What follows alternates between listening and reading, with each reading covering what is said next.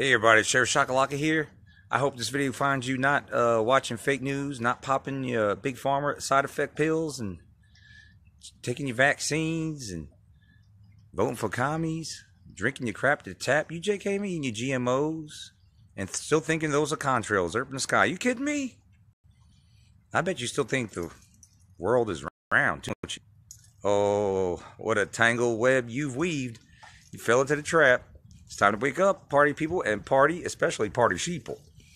Click the link below from Aplanetruth.